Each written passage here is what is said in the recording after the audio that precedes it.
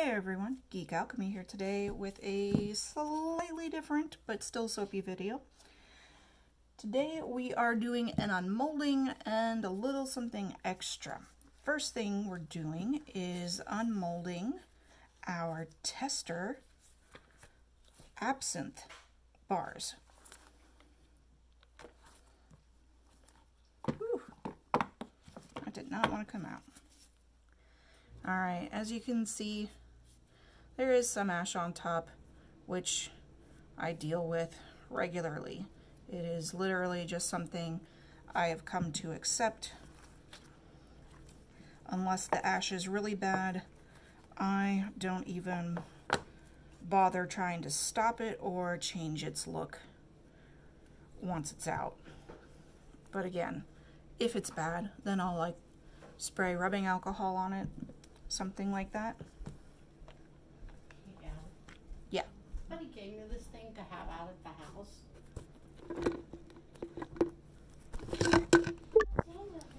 All right, guys, we're back. Had to have a little mini meeting. So these bars are from Bitter Creek.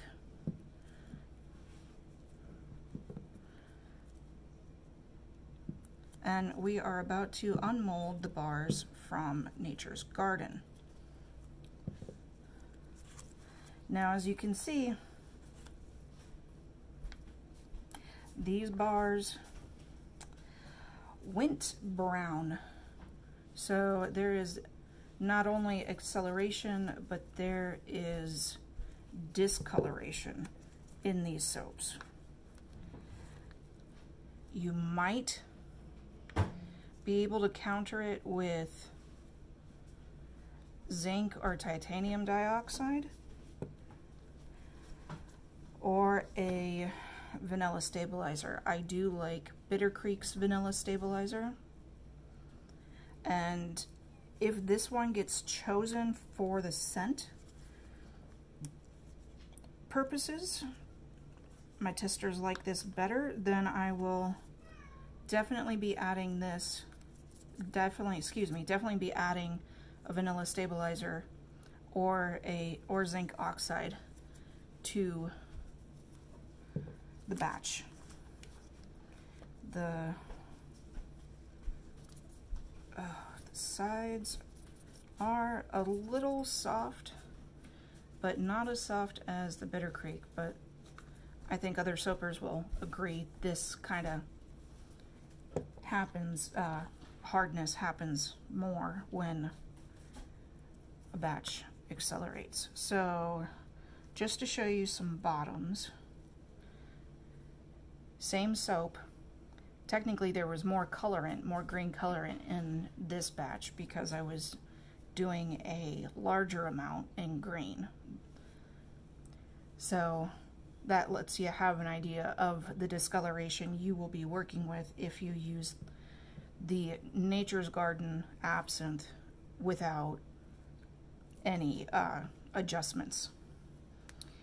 All right, so now I'm gonna set these to the side and we're going to start on molding our last soap of the day,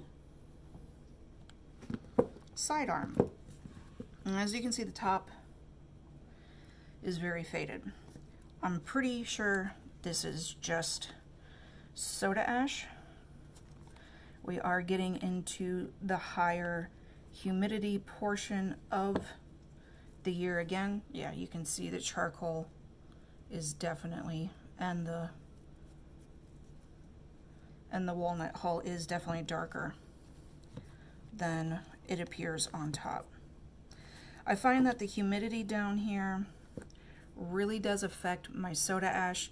It doesn't matter what I do to try and change it, it just literally ashes no matter what I do. Rubbing alcohol, covering it, not covering it, making it go through gel. I mean, these things can alter it a bit, but they do not necessarily stop it in its tracks keep in mind if you have a different environment, you might be able to eliminate soda ash yourself. And yes, before anyone says anything, I this recipe is much lower in water than the recipes I started making soap with, and they ash just as much as those others. And this one even has harder oils. So, you know, you can throw out all the adjustments you want. I'm chalking up my soda ash problem, which really isn't a problem because it doesn't affect the soap at all, to the high humidity in this section of the world, which is Florida, and it's usually very humid here 90% of the year. So I've, like I said, I've come to just accept the fact that I'm going to get soda ash no matter what I do.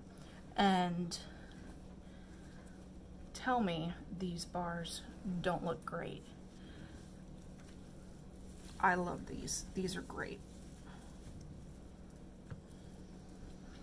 And you don't have to worry about the little guns falling off. They are secured in the soap itself. All right, now to the second part of our video. Actually, let's unmold this before we move on. Here's hoping it comes off cleanly. Eh, it did for the most part. All right.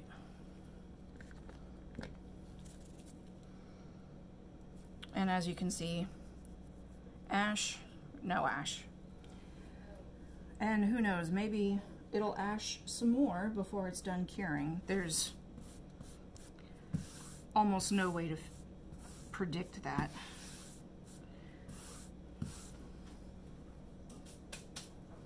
Maybe in the future I'll go ahead and grab myself a dehydrator, or sorry, a dehumidifier, and test the waters out that way. Something fell down. All right, this second part of today's video is going to be infusion.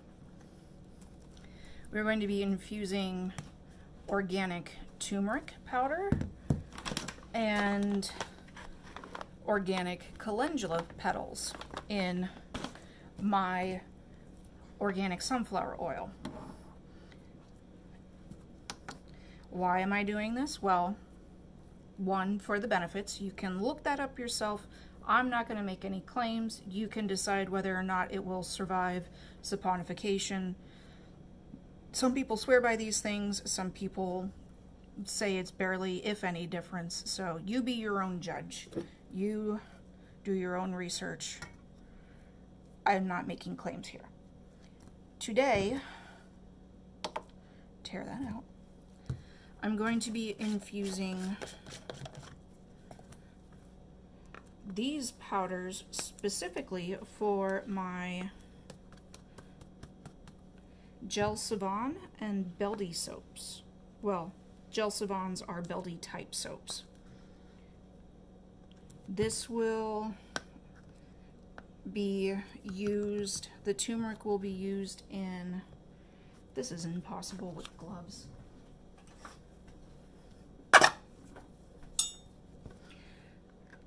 There we go.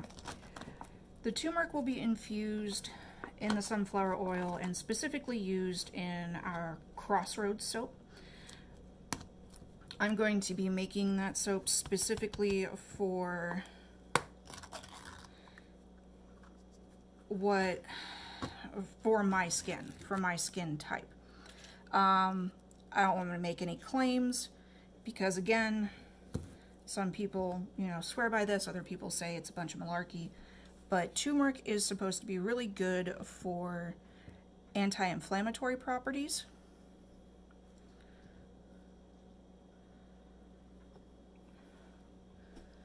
Which is helpful for people dealing with acne like me just over an ounce. I'm going to call that good.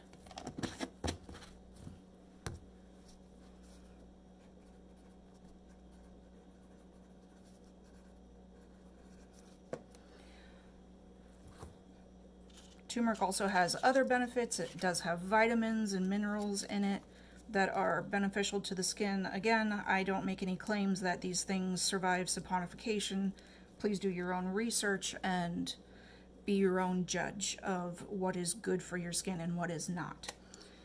All right, just to make sure I don't you don't have to see me keep jumping back and forth into frame. I'm gonna go ahead and pause you guys, fill this up with oil, and then I'll come back as I start to load up my calendula. See you in a second. All right, guys, I'm back. Sorry about the movement here. All right, so we got 22 ounces of oil weight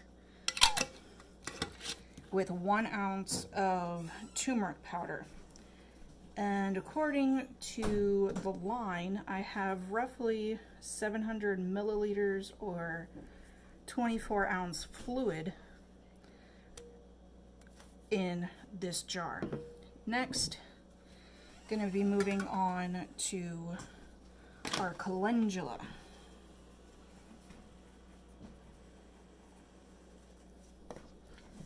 Tear that out. Oh, jeez. It smells so pretty. Look at that flower. Isn't it so pretty? These guys are great. I really do like the feel that calendula gives to soap.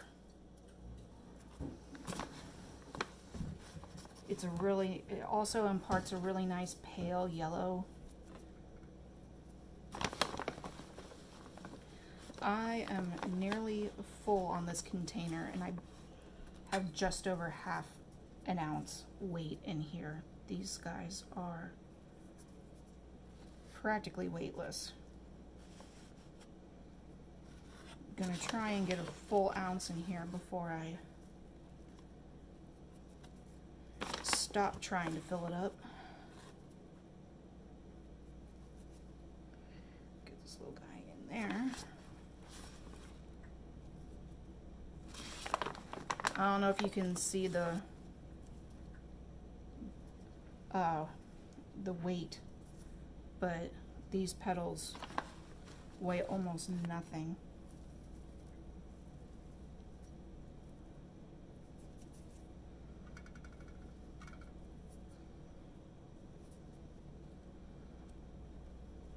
We're nearly there, we're at 0.991 ounce. You may be asking me why I'm measuring this out so much. Why bother? Well, I like to have exact measurements. That way I know what I'm putting out there. That's a little twig. I don't want that.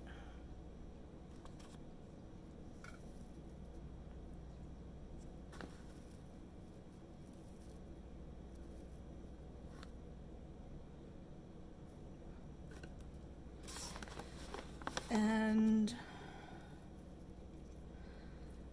you should always know, you know, what you're spending as a business owner. So that's why I'm trying to make this as accurate as possible.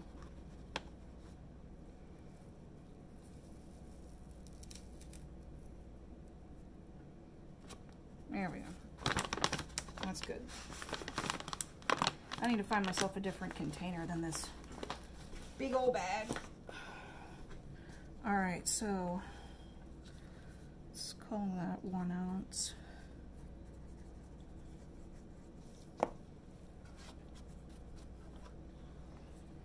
All right, I'm gonna tear that out. I'm gonna start weighing my oil.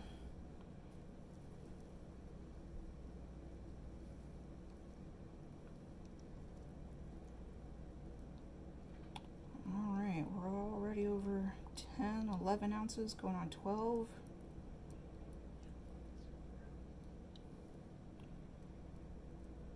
Gonna go ahead and let the air out because that's definitely gonna mess up the measurements.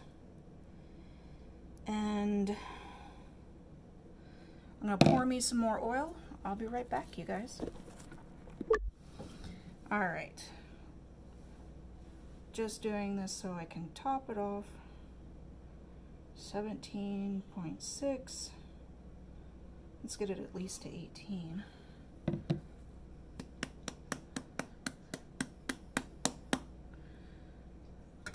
Okay. Gonna wipe off my turmeric spoon. so that we don't transfer anything over here. And I'm going to try and get out any air bubbles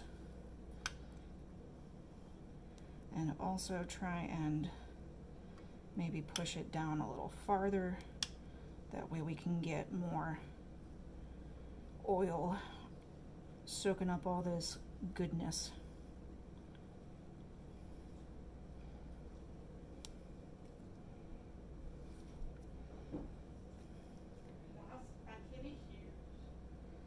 Oh, tell me that doesn't look so pretty in the jar.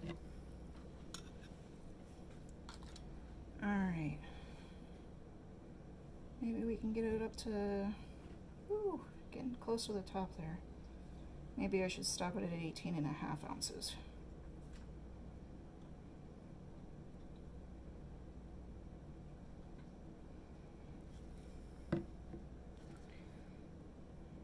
Nineteen. Yeah, uh, nearly there.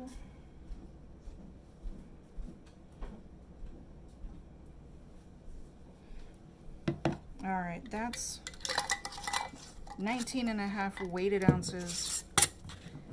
You might be asking me why I'm trying to smash so much oil in here. You gotta remember that these botanicals will soak up the oil and I will lose that weight to an extent so I'm trying to get as much in there as I can and then these guys in a very short amount of time will be going into my pot and I will be heat infusing them